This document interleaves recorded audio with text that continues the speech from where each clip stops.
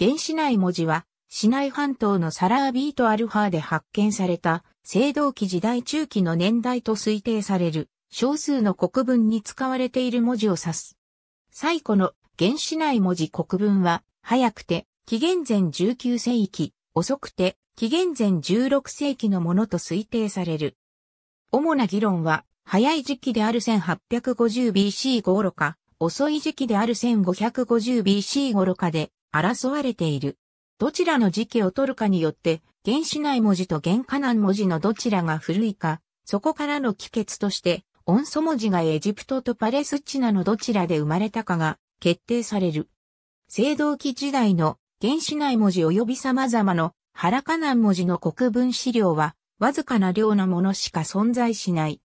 青銅器時代が崩壊し、レバント地方に新しいセム系の王朝が勃興して、初めて鉄器時代のフェニキア文字の直接の祖先である、ハラカナン文字が現れる。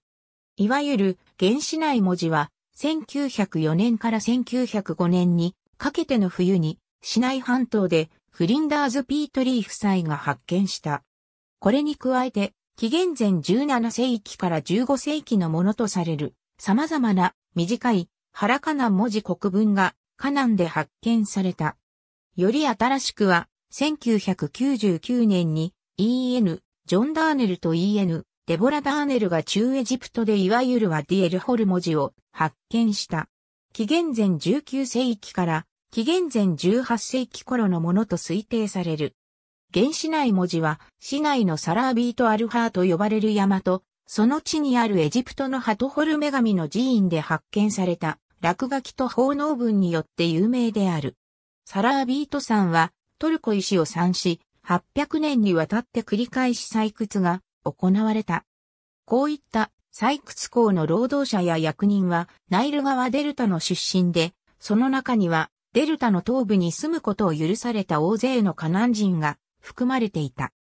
トルコ石膏山の中及び近辺、及びハトホル神殿に通じる道で発見された岩石を引っかいて作られた国文はヒエラティック、またはヒエログリフで書かれているものが多いが、そのうち40ほどがいわゆる原子内文字で書かれている。国文の時代は、通常紀元前17世紀から紀元前16世紀の間と考えられている。4つの国文は、寺院の中の2つの人物像と小さな石でできたスフィンクスの両側に書かれている。乱雑に書かれており、これを書いた労働者が文盲であった可能性を示唆する。1916年にガーディナーはこの記号を音素文字であると仮定して、国文の中の文字列を LBLT、女神へと読んだ。石のスフィンクスに書かれたものは二言語の碑文であり、エジプト語の方はトルコ石の主であるハトホル神の最愛のものと読める。ガーディナーによると、原子内語の方は MHBL と読み、BLT の最後の T が欠けたものとみて、女神の最愛のものと読まれる。カナン地方地震からは、紀元前17世紀以降の2.3の国文しか見つかっていない。いずれも非常に短く、大部分は数文字からなる。おそらくカナンの対象か、あるいはエジプトの兵士によって書かれたかもしれない。これらの文字を原カナン文字と呼ぶこともあるが、ハラカナン文字という語は初期のフェニキアヘブライ語碑文についても用いられる。ワディエルホルの碑文はやはり石に書かれたもので、高地砂漠を通じて、テーベとアビドスを結ぶ古代の軍用、小洋路沿いのナイル川のキナーカーノにある和字で見つかった。二つの碑文が知られている。この文字体系の字型は原子内文字に極めて似通っているが、より古く、また文字が使用されていたエジプトの中心部のはるかに南である。アザガタやその向きは、紀元前2000年、第一中間期の頃のヒエラティックの落書きに大変よく一致する。ハーバード大学の EN、フランク M クロスは、この碑文を明らかに最古の音素文字であり、後のセム系文字とも十分に似通っていると考え、これは音素文字の単元的な発展のうちに位置づけられると結論づけている。EN、ブライアン・コールラスはワディエルホル文字はその起源となったヒエラティックの標語的性質をいくらか保持した原子音素文字であったと考える。例えば、ある字形は現代ラテン文字の N の素であり、エジプト語の蛇の字型を借用したと考える。すると、字の呼び名は、カナン語の蛇、すなわち、ナエスとなる。これは、トーン法によって音素 N に用いることができたばかりか、ナイスという語の標語文字にも用いることができ、さらには複数シーンの半 J にも用いることができたという。例えば、ティーターという字をつけて NT のようにし、N トンを表す。一部の死因は複数の字型を持っていたようである。これは一つには複数の字型が同じ呼び名の字を表し得たためで、また一つにはカナン語で同音異義語やそれに近いもの同士であったためである。現存するレバンテ順の文字資料以前に失われてしまった字もあることだろう。碑文1は16文字、碑文2は12文字からなる。二つの碑文の読みを EN、ステファン・ウィマーと EN、サマー・ウィマーによる本字で示す。各括弧内にコールラスによる別の本字を示し、見解の相違があるものは太字とする。H1 は祝がガーディナー分類で A28 の形に作り、一方 H2 は小に同 A17 もしくは舞踊同 A32 の形に作る。後者であるとすれば H1 と H2 は時形上の遺体である。祝が小に舞踊を表すヒエログリフ。若干の研究者は、碑文1の最初の RB は、レバ、超、ラビと同語源であろうとの見解で一致している。また、碑文2の最後の L はエール、神であろうとの見解で一致している。この文字体系は、字型がエジプト語のヒエラティックに似通っている。1950年代から60年代にかけては、オルブライトによる原子内文字の解釈を論拠に、カナンの文字体系がヒエラティックから派生したことを示しているとする説が一般的だった。碑文の言語はセム語であり、その文字体系は原型をヒエラティックに持ちセム系文字の祖となったもので、文字体系自体は、等音法による表音文字であるという見解が広く受け入れられた。バーラとバ、アラと、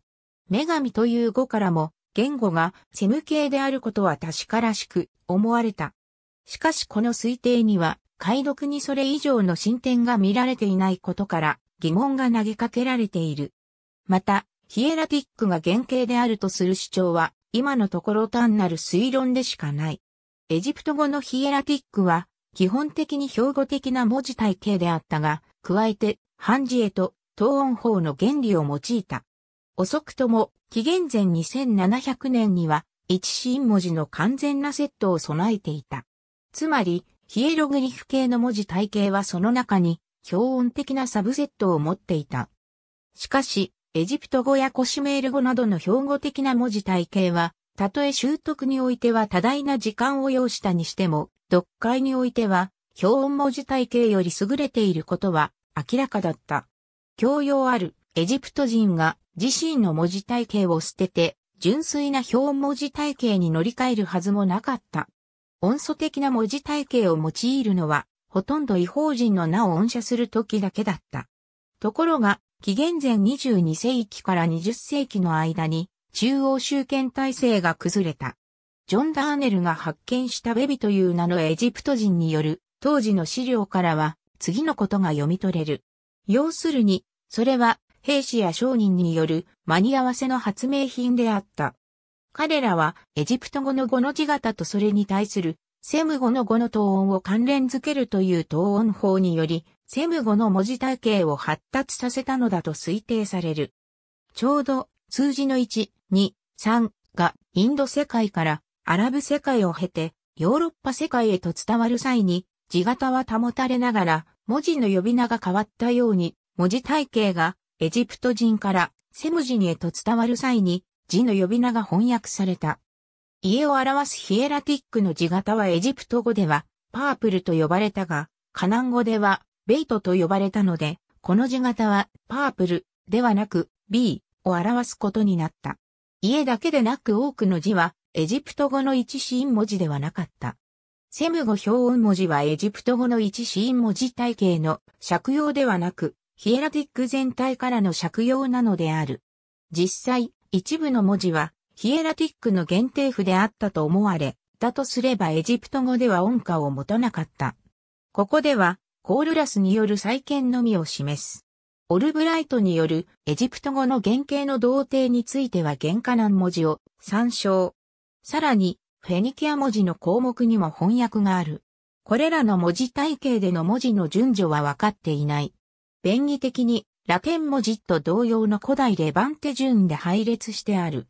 だが、青銅器時代後期には南セム文字の順序 HLMQW、RTSKNXB も見られ、これはレバンテ順と同じくらい古いものかもしれない。エジプト語で文字の順序が決まっていたかどうかはわからないが、少なくともある。エジプト語の辞書では南セム文字の順序と同様 H から始まっている。というのは、最初の語が時の化身で、これはエジプト語では H で始まるからである。後のレバント順では、区別がなくなったり混同されたりしたものもある。例えば、ギリシア文字は、ハシアの字の形を引き継いでいるが、その呼び名、イータはよく似た、摩擦音ゼイトから借用したと思われる。どうやら、この二つの字は、レバント文字の時代までに混同されてしまったようである。同様に、シータードは、後の文字体系でシムズに置き換わったようである。コールラスはまた、一部の音素について、複数の字を再建している。例えばサミック臭いである。魚の字と支える、背骨の字のどちらにでも使えるが、一つの文字資料に同時に現れることはない。時形上の遺体が明瞭に認められる場合もある。シムズは、ウラエウスで表すが、太陽円盤があるとは限らない。また、ナイスは、ここに挙げたものの他にも色々な蛇のヒエログリフで表すことがある。古代エジプトにおいて、蛇は王権の象徴であり、神聖視されていたためであろう。音素文字に対するエジプト語の原型の提案にはすべて議論の余地があることに注意。例えば、ヒエログリフのジェットに似た原子内文字の字型をここでは、の字と同定しており、これはガーディナー以来ずっとそうなのだが、エチオピア文字による呼び名がナイスとなることによる。ゲーズ語ではこの呼び名は、真鍮を意味し、蛇にはならない。なお、EN、ピーター・ティ・ダニエルズは、現代エチオピア文字の呼び名の年代は、決して16世紀より遡ることはなく、原子内文字の検証に利用するには不適切であると指摘している。日本語での用語や固有名詞の表記については以下の資料を参照した。ありがとうございます。